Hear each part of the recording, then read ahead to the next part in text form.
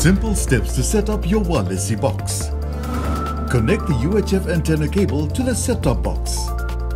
Use the HDMI or the AV cable to connect the set-top box to the TV screen. Connect the power cable to the box. The set-top box will start and show a verifying message followed by the Walesi logo. Channel search will appear. Press the red button to search the set-top box for the first time. Press OK after channel search has completed. Click the exit button to exit the search menu.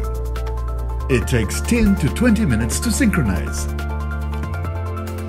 Enjoy watching 8 free-to-air channels on Walesi TV.